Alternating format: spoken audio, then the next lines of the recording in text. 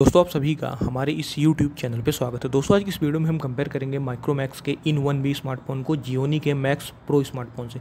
अब दोस्तों जियोनी का मैक्स प्रो स्मार्टफ़ोन है, ये इंडिया के अंदर लॉन्च हो चुका है और इसकी जो प्राइस रखी गई है, वो काफ़ी सही रखी गई मतलब आपको तीन जी रैम और बत्तीस जी का इंटरनल स्टोरेज आपको सात हज़ार रुपये में देखने को मिल जाता है।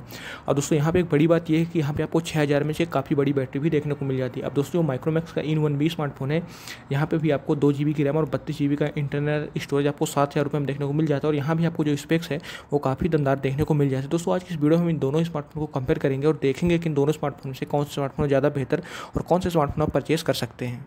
तो सबसे पहले बात कर लेते हैं डिस्प्ले की, जियोनी की मैक्स प्रो स्मार्टफ़ोन के बारे में। तो यहाँ पे दोस्तों आपको 6.5 पॉइंट फाइव टू इंचज का एच डी प्लस का डिस्प्ले देखने को मिल जाता है, जो कि वाटर ड्रॉप नॉच के साथ आपको देखने को मिल जाती है। अब दोस्तों, यहाँ पे आईपीएस का एलसीडी पैनल यूज़ किया गया, जहाँ पे आपको दो सौ की पिक्सल डेंसिटी देखने को मिल जाती है। अब डिस्प्ले की बात कर लेते हैं माइक्रोमैक्स के इन वन बी स्मार्टफ़ोन के बारे में। दोस्तों यहाँ पे आपको 6.52 पॉइंट फाइव टू इंचज की एच डी प्लस की डिस्प्ले देखने को मिल जाती है जो कि वाटर ड्रॉप नॉच के साथ आपको देखने को मिलती है। और यहाँ पे भी आपको आईपीएस का एलसीडी पैनल देखने को मिल जाता है। और यहाँ पे आपको दो सौ उनहत्तर P P two sixty nine P की पिक्सल इंडस्ट्री देखने को मिल जाती है। अब अगर यहीं पर बात कर लेते हैं कि दोनों स्मार्टफ़ोन से किस स्मार्टफ़ोन जो डिस्प्ले जो होता है बेहतर आपको देखने को मिलता है दोस्तों डिस्प्ले की क्वालिटी वाइज दोनों में ही आपको बिल्कुल सेम देखने को मिलती है। दोस्तों दोनों में ही आपको एच डी प्लस का डिस्प्ले देखने को मिल जाता है। और दोनों में ही आपको आईपीएस का एल पैनल भी यूज़ किया गया। अब दोस्तों अगर डिस्प्ले की साइज़ के हिसाब से बात करें तो साइज़ भी आपको बिल्कुल दोनों में ही सेम मिलती है। यानी दोस्तों, डिस्प्ले आपको लगभग दोनों में सिमिलर देखने को मिल जाता है। अब बात कर लेते हैं प्रोसेसर की। तो जियोनी के मैक्स प्रो स्मार्टफ़ोन में आपको इस प्रेडिक्ट्रम का S C nine eight six three A वाला प्रोसेसर देखने को मिल जाता है, जो कि ऑक्टा कोर का प्रोसेसर है। और यहाँ पे आपको मैक्सिमम क्लॉक स्पीड 1.6 पॉइंट की देखने को मिल जाती है। और दोस्तों, ये जो प्रोसेसर है, ये 28 एट एन की फेब्रिकेशन प्रोसेस पे बेस्ड है। दोस्तों, ये जो प्रोसेसर है 28 एट एन की फेब्रिकेशन प्रोसेस से बना हुआ है। अब प्रोसेसर की बात करते हैं माइक्रोमैक्स से इन वन बी स्मार्टफ़ोन तो यहाँ पे आपको मीडिया टेक का हीलियो का जी थर्टी फाइव वाला प्रोसेसर देखने को मिल जाता है, जो कि एक ऑक्टा कोर का प्रोसेसर है।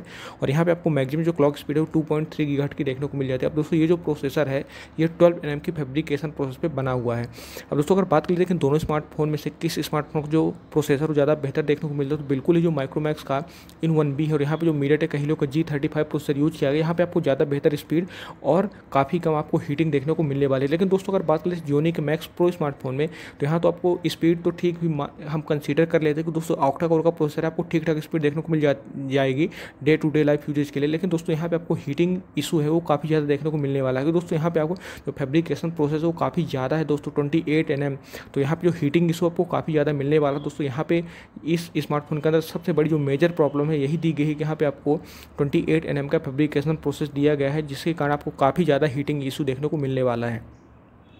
अब बात कर लेते हैं कैमरे की तो जियोनी के मैक्स प्रो स्मार्टफ़ोन में आपको डुअल रियर कैमरे का सपोर्ट देखने को मिल जाता है, जो कि तेरह मेगापिक्सल प्लस दो मेगापिक्सल के रियर कैमरे के साथ आता है प्लस आठ मेगापिक्सल कैमरा आपको सेल्फी के लिए देखने को मिल जाता है। बात लेते हैं माइक्रोमैक्स के इन वन बी स्मार्टफ़ोन तो यहाँ पे भी आपको तेरह प्लस दो मेगापिक्सल का डुअल रियर कैमरा देखने को मिल जाता है प्लस आठ मेगापिक्सल कैमरा आपको फ्रंट में देखने को मिल जाता है सेल्फी के लिए।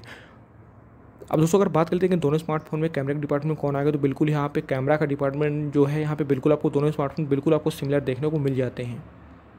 अब बात कर लेते हैं बैटरी की। तो जियोनी के मैक्स प्रो स्मार्टफ़ोन में आपको छः हज़ार में से काफ़ी बड़ी बैटरी देखने को मिल जाती है, जबकि माइक्रोमैक्स के इन वन बी में आपको पाँच हज़ार में से एक बड़ी बैटरी, साथ में आपको टाइप सी का सपोर्ट भी देखने को मिल जाता है।